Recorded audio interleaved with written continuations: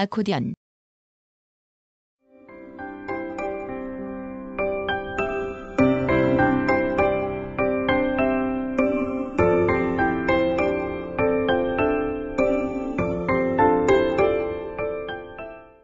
주름 상자를 양손으로 신축시켜 리드로 소리를 나게 한 김영악기. 손풍금이라고도 하였다. 아코디언은 반음계도 자유로이 연주할 수 있는 악기로 오른쪽에 3옥타브 반에 이르는 피아노식 건반이 있고 왼쪽에는 베이스라는 정렬과 코드 버튼이 나열되어 있다. 코드 버튼은 한 개로 장삼화음, 단삼화음, 속칠, 감칠 등 각조의 모든 화음을 낼 수 있어 고도의 연주도 가능하다. 리드도 한 줄뿐만 아니라 음색을 달리하는 3에서 4열을 갖추고 음색을 변화시키는 음전으로 조절할 수 있도록 되어 있다.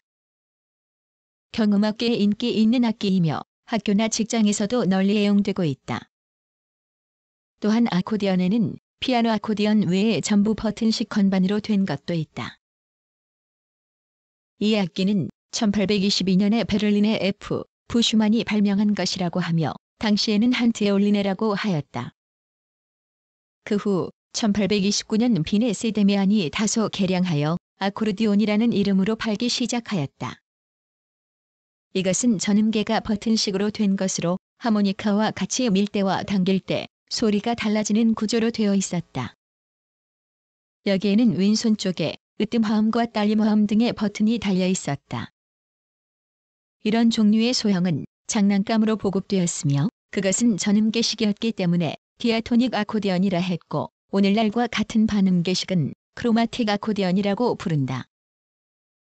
이런 종류의 악기로는 중남미의 주요 악기인 밴드 네온이 있다.